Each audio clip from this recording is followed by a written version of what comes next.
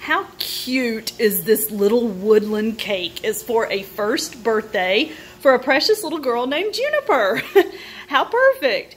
This original design was done by a bakery called Sugar Fix up in Chicago, I believe. Um, it's absolutely adorable, and the client wanted that exact cake, which is a little nerve-wracking because everybody does things differently. Everyone has a different hand when they're working on a cake, but we did our best to make it happen for her. I love the fox. He's just so cute.